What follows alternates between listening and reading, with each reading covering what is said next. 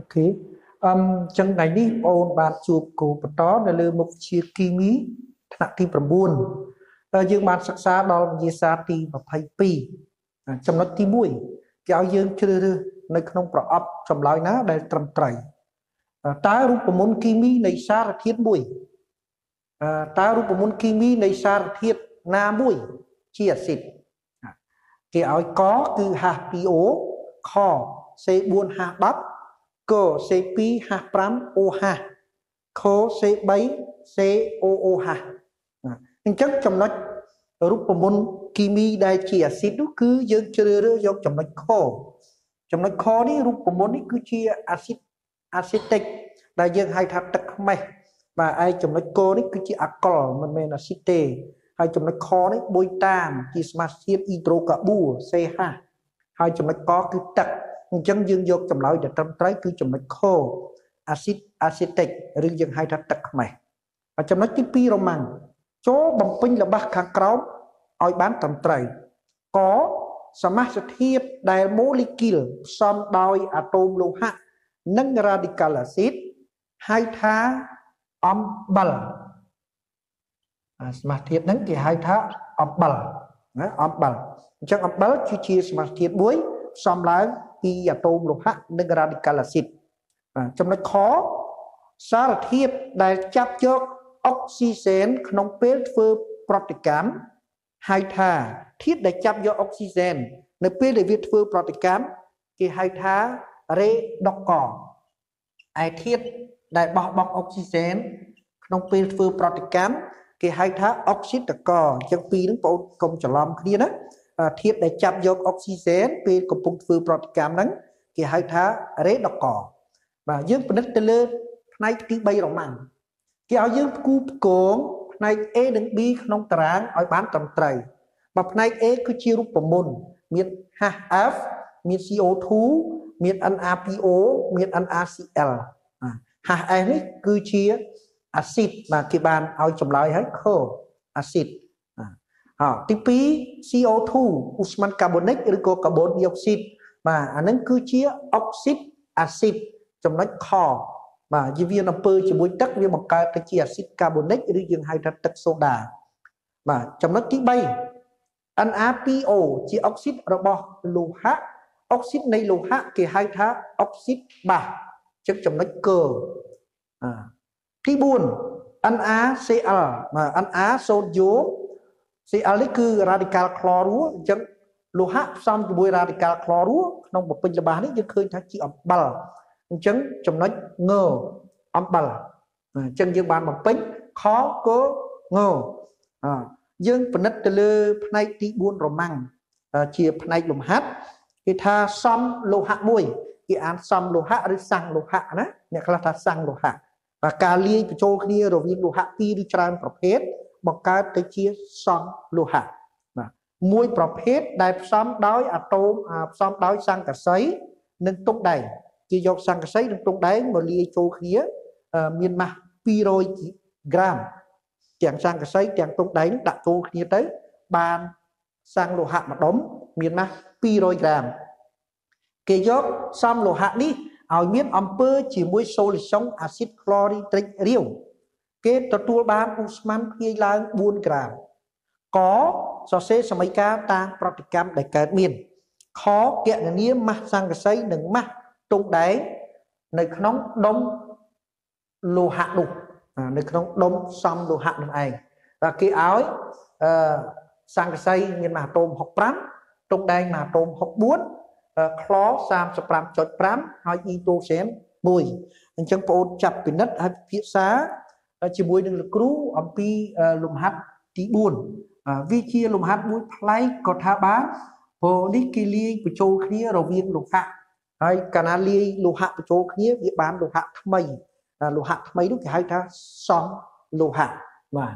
អញ្ចឹងចំណុចទី4កគេឲ្យយើងសរសេរសមីការសមីការតាងប្រតិកម្មសមីការតាងប្រតិកម្មកើតមាន ដែលកើតមានអញ្ចឹងយើងមើលគេយកសង្ឃវហៈនោះទៅដាក់ក្នុង solution acid chlorhydric រាវ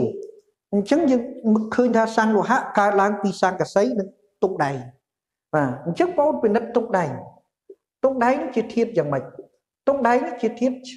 អសកម្មមានន័យថាជាអឺជាលោហៈខ្សោយណាបិទសញ្ញា Cu ទុកដែងអឺ វាជាលោហៈខ្សោយបើវាជាលោហៈខ្សោយទុកដែងនឹងឯងគ្មានអំពើជាមួយ solution acid chlorhydric រាវទេទុកដែងគ្មានអំពើជាមួយ solution acid chlorhydric មានអំពើជាមួយ solution acid chlorhydric រាវទេមូលហេតុអីព្រោះព្រោះវាជាលោហៈខ្សោយហើយបងឆ្ងល់ថាតើលោហៈខ្សោយទៅមានប្រមាណទៅលោហៈអីខ្លះទៅដែលជាលោហៈខ្សោយបាទលោហៈខ្សោយមាន5ឈរនៅលំដាប់ខាងក្រោយអ៊ីតូសែនតើលោហៈទាំង5នោះមានអីខ្លះបាទលោហៈទាំង5នោះមានទុកដែងណាគូផ្សេងទៅនេះណាលោហៈខ្សោយគ្រាន់តែជាការរំលឹក លោហៈខ្សោយនៅឈរខាងក្រោយលំដាប់អ៊ីតូសែនគឺមានទុកដែងមានបារតមានប្រាក់មានផ្លាទីននិងមាសណាមាន5ទាំងអស់ណាលោហៈទាំង5នេះជាប្រភេទលោហៈខ្សោយអញ្ចឹងលោហៈខ្សោយទាំង5នេះគ្មានអំពើជាមួយសូលីសុងអាស៊ីតរាវទេណាអញ្ចឹងយកវាទៅដាក់ជាមួយអាស៊ីតរាវវាអត់មានប្រតិកម្មទេ អញ្ចឹងបងត្រូវចាំកន្លែងហ្នឹងដូចនេះសម័យកាលប្រតិកម្មដែលកើតមានសម័យកាលតាងប្រតិកម្មកើតមានយើងទៅសេបាន គឺមានតែសង្កសីទេ ដែលទៅធ្វើប្រតិកម្មជាមួយអាស៊ីតក្លរីត្រិករាវអញ្ចឹងសង្កសីរឹងបូកជាមួយនឹងអាស៊ីតក្លរីត្រិក HCl ជា solution AQ វាឲ្យផលទៅជាសង្កសីក្លរੂជាសមាសធាតុអំបិលហើយបូកជាមួយនឹងអ៊ីត្រូសែនជាឧស្ម័នភាយឃើញទេភាយអញ្ចឹងបងអូនថ្លឹងទៅឃើញតែក្លនេះក៏កើតមាន2ក្លចូលធ្វើប្រតិកម្មមាន1បងអូនដាក់ដេគុណ2អញ្ចឹងសាំងអ៊ីតូសែននេះបាន2អានេះ2មានលំនឹងហើយសាំងកសីនេះ1ស្មើណាប្រតិកម្មនេះយើងទៅសេឲ្យថ្លឹងជាការស្រេចអញ្ចឹងចំណុចកយើងបានបញ្ចប់ ចំណុចខ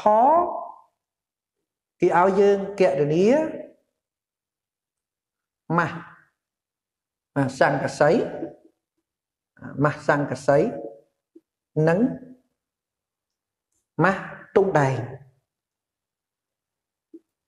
ម៉ាស់សង្កសីនិងម៉ាស់ទុងដែងដែលមាននៅក្នុងដុំសង្ឃលោហៈនោះឯងអញ្ចឹងយើងធ្វើម៉េចដើម្បីឃើញក្នុងពីរហ្នឹងយើងរកអាណាមុនឃើញគឺយើងរកសង្កសី ដោយសារសង្កសីមានប្រតិកម្មជាមួយអាស៊ីតក្លរីត្រិកបំភាយអ៊ីតូសែនជាឧស្ម័នភាយឡើង4ក្រាមអញ្ចឹងយើងទាញតាមតាមសមីការតាមប្រតិកម្មខាងលើ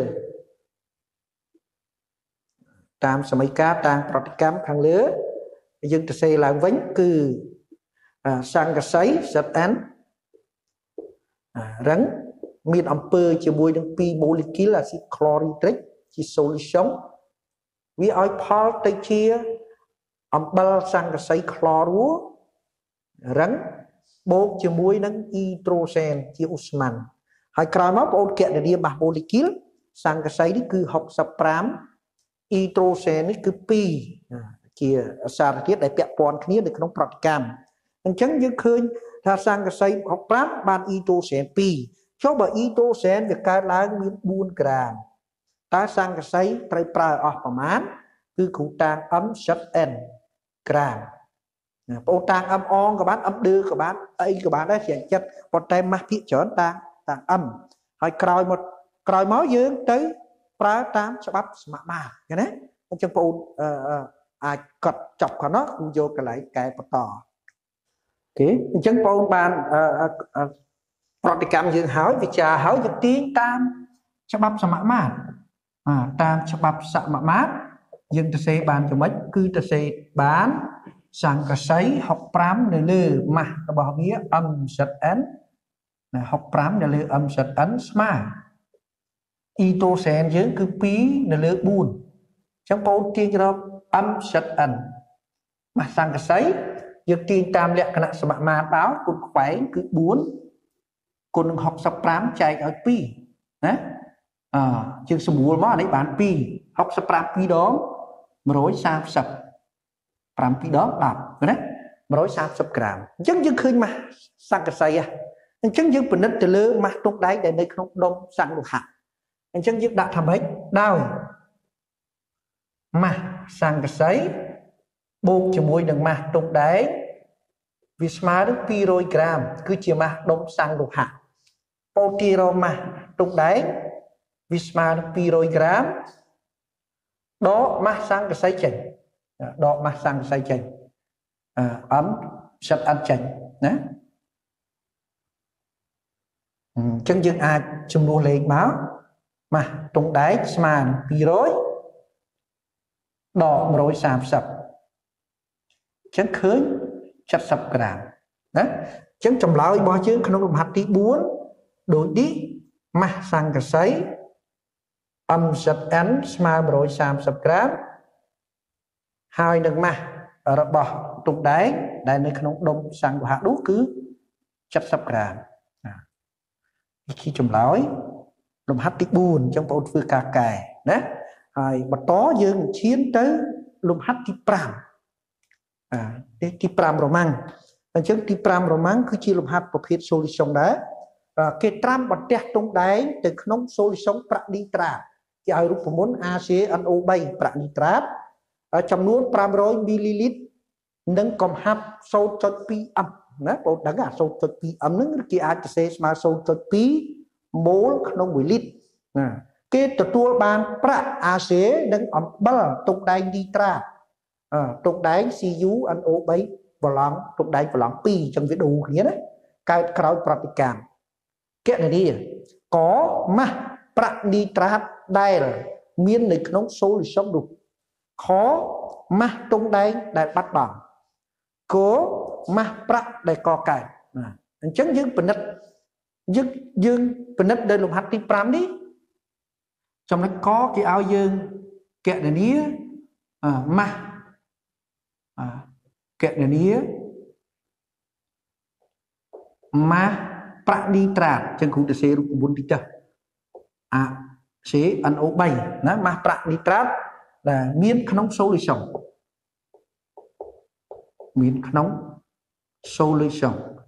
មានន័យក្នុង solution ប្រាក់ឌីត្រាតហ្នឹងមានប្រាក់ឌីត្រាតហ្នឹងប្រមាណណា solution ប្រាក់ឌីត្រាតទាំងអស់វា5 500មីលីលីត្រអញ្ចឹងបងប្អូនទាញតាមណាយើងស្គាល់កំហាប់អញ្ចឹងយើងទៅទាញតាមរូបមន្តកំហាប់ រូបមន្តកំហាប់គឺ CM វាស្មើនឹង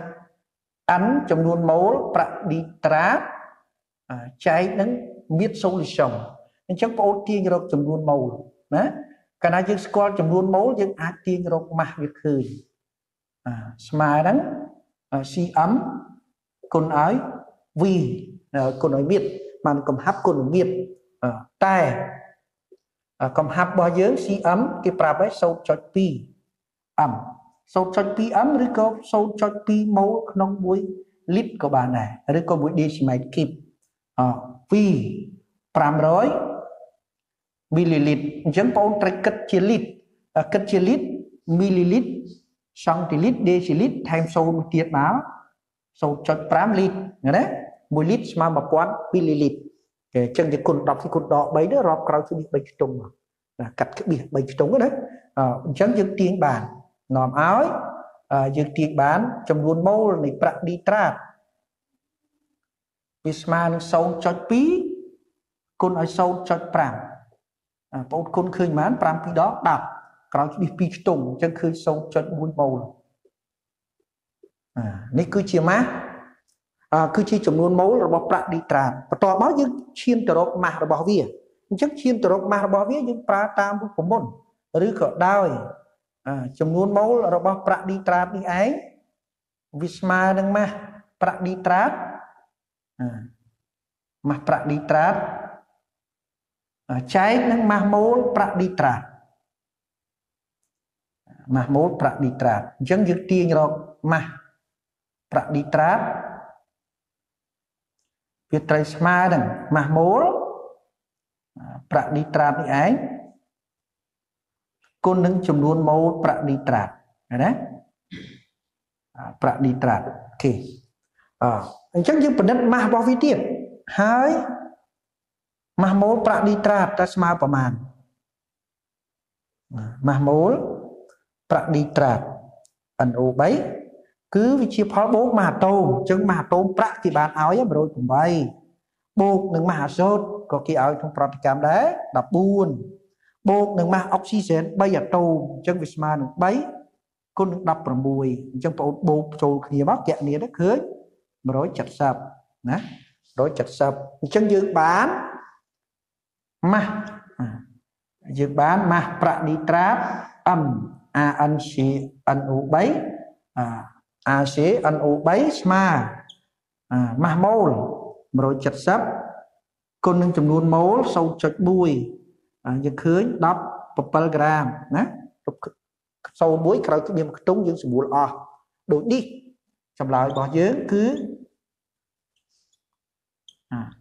M ប្រាក់ឌីត្រាតម៉ាស់ប្រាក់ឌីត្រាតដែលមាននៅក្នុង solution 500 ml ចំនួន17ក្រាម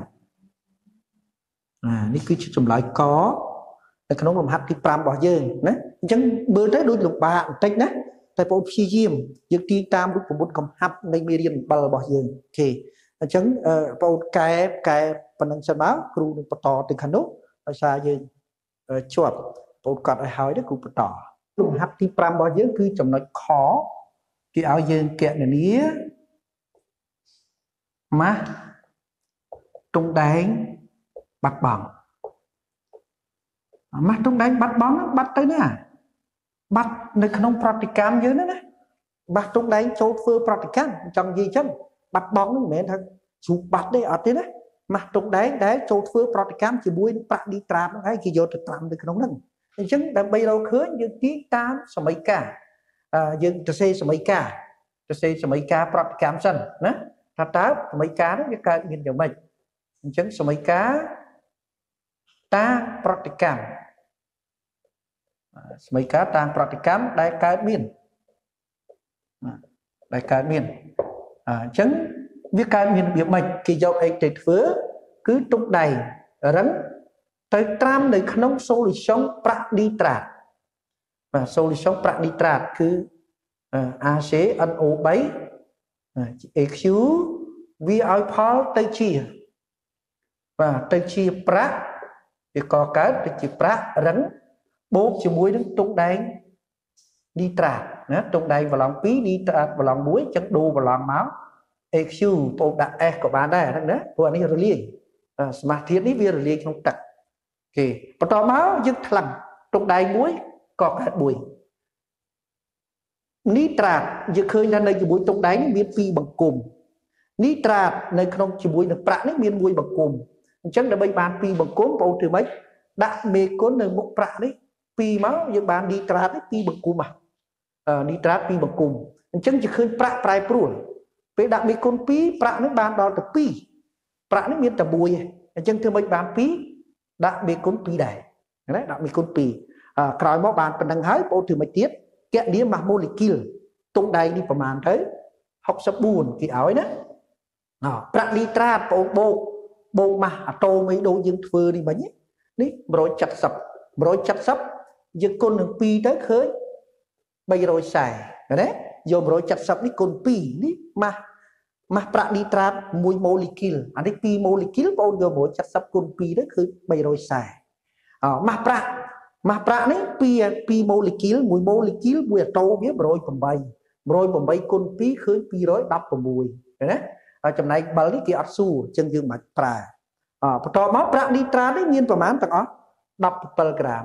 នៅក្នុង solution ហ្នឹងមានប្រាក់នីត្រា17ក្រាមអញ្ចឹងអា17ក្រាមហ្នឹងឯងទៅធ្វើប្រតិកម្មជាមួយនឹងទុងដែងពេលនោះទុងដែងបាត់ម៉ាស់អស់គ្រូតាង MCU ប្រាក់ដែលកកើតគ្រូតាង M កកើតគេណាកោតាង M អង M ដឺក៏បានដែរណាប៉ុន្តែយើងដាក់ឈ្មោះអញ្ចឹងទៅវាចំតែម្ដងវាស្រួលបន្ទាប់មកយើងទាញតាមច្បាប់សមមាត្រ ច្បាប់សមាមាត្រយើងសរសេរបាន64នៅលើ m cu ស្មើនឹង340នៅលើ17អញ្ចឹងបងអូនទាញរកម៉ាស់តុងដែង MCU ស្មើវាប្រើលក្ខណៈសមាមាត្រតាមគណិតជា គឺ17គុណនឹង64ចែកឲ្យ340 បាទបងអូនគុណចែកមើលឃើញបានទេបាទគ្រូគុណចែកនេះគ្រូឃើញ3.2ក្រាមបាទ3.2ក្រាមម៉ាស់តុងដែងដែលបាត់បង់ឬក៏ម៉ាស់តុងដែងដែលចូលធ្វើប្រតិកម្មដូចនេះចម្លើយម៉ាស់តុងដែងបាត់បង់ CU ស្មើនឹង3.2ក្រាមទេយើងបានចម្លើយកើចម្លើយខរួចហើយ ហើយបន្ទាប់មកចុងក្រោយគឺចំណុចកើគេឲ្យយើងកណនាម៉ាស់ប្រាក់ដែលកកើតអាម៉ាស់ប្រាក់កកើតអញ្ចឹងយើងបានវិចារហើយណាវិចាររួចហើយម៉ាស់ប្រាក់កកើតយើងវិចារនៅក្នុងប្រតិកម្មនៅក្នុងចំណុចខនេះរួចហើយម៉ាស់ប្រាក់អញ្ចឹងបងអត់ពិបាកទៅសេឡើងវិញទេគឺទាញតាមច្បាប់សមមាត្រតែម្ដងច្បាប់សមមាត្រ យើងទៅសេបានប្រាក់ឌីត្រាត340នៅលើ17អា340នៅលើ17ស្មើអាស្មើនឹងប្រាក់របស់យើងនេះគឺ216នៅលើ M M ប្រាក់ MRC អញ្ចឹងបងអូនទាញរកម៉ាស់ប្រាក់មក MRC នេះឯង វាស្មើលក្ខណៈសមមាត្រវាគុណទៀតណា17គុណនឹង216ចែកនឹង340ណាបងអូនកណនាមើលឃើញបាន340ណាយកកណនាទៅឃើញ10 10ចុច10ចុចប្រហែលបងកណនាតិចទៅគ្រូកណនាដែរបានឃើញ10ចុចចុច8បាទ10.8ឬក៏10.80ជាងណា 10.8ក្រាមដូចនេះម៉ាស់ប្រាក់កកើតក្រោយប្រតិកម្មបាន10.8ក្រាមណាយើងរែងមគុតអាចដាក់11ក្រាមក៏បានដែរព្រោះវាដល់ដល់8ហើយណាគេអញ្ចឹងនេះគឺជាចំណុចទី5លំហាត់ទី5របស់យើងអញ្ចឹងមើលទៅពិបាកថាកតិចទៀតណា វាតកតូនកំហាប់ដល់ក្នុងប្រតិកម្មវាស៊ាំសម្រាប់ប្អូនតិចហើយអញ្ចឹងការលើកមកបង្ហាញរបស់គ្រូនៅថ្ងៃនេះវិញ្ញាសាថ្នាក់ទី9ផ្នែកគីមីវិទ្យាជាវិញ្ញាសាទី22ដែលគ្រូបានបង្ហាញសូមបញ្ចប់ត្រឹមប៉ុណ្នេះបាទសូមអរគុណបាទ